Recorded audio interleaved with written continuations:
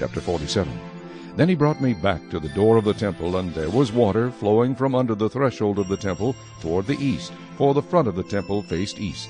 The water was flowing from under the right side of the temple, south of the altar. He brought me out by way of the north gate, and led me around on the outside of the outer gate that faces east, and there was water running out on the right side.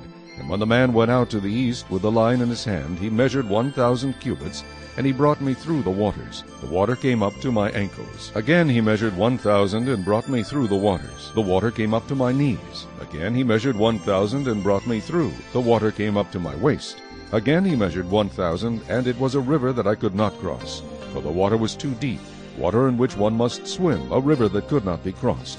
He said to me, Son of man, have you seen this?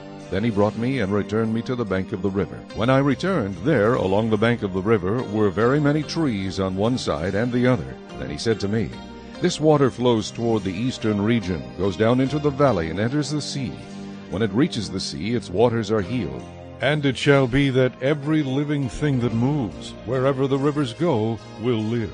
There will be a very great multitude of fish, because these waters go there. For they will be healed, and everything will live wherever the river goes. It shall be that fishermen will stand by it from En-gedi to En-eglaim. They will be places for spreading their nets. Their fish will be of the same kinds as the fish of the great sea, exceedingly many. But its swamps and marshes will not be healed. They will be given over to salt.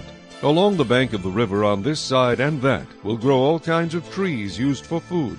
Their leaves will not wither, and their fruit will not fail. They will bear fruit every month, because their water flows from the sanctuary. Their fruit will be for food, and their leaves for medicine.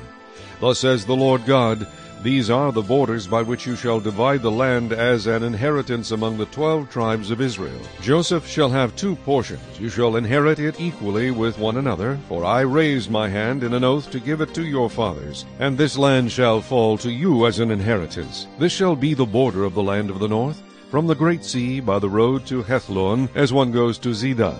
Hamath, Berothah, Sibraim, which is between the border of Damascus and the border of Hamath, to Hazar Hatticon, which is on the border of Hauran.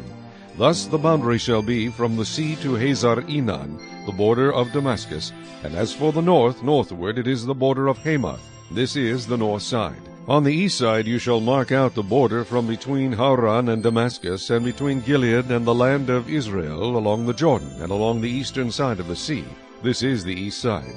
The south side, toward the south, shall be from Tamar to the waters of Meribah by Kadesh, along the brook to the great sea. This is the south side toward the south.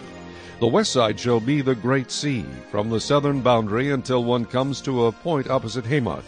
This is the west side. Thus you shall divide this land among yourselves according to the tribes of Israel.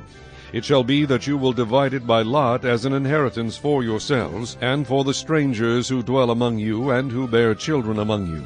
They shall be to you as native born among the children of Israel. They shall have an inheritance with you among the tribes of Israel. And it shall be that in whatever tribe the stranger dwells, there you shall give him his inheritance, says the Lord God.